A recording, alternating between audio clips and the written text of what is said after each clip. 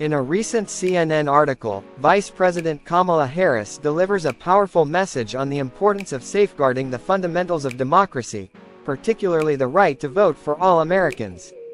She highlights the critical role of a strong, transparent electoral system and stresses the need for collective efforts to protect it.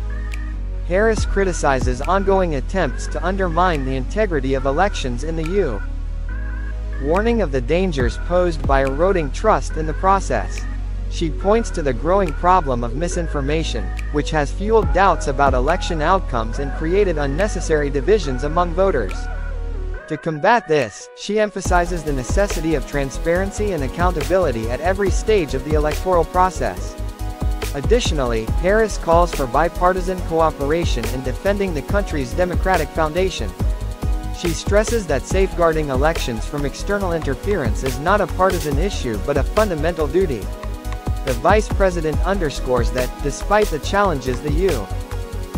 faces in protecting its electoral system, the commitment to upholding democratic principles must remain unwavering. In conclusion, Kamala Harris' message is clear, the integrity of U. Elections must be preserved to ensure the future of American democracy. Transparent, fair, and secure elections are essential to maintaining public trust, and it is up to all leaders, regardless of party, to defend these principles.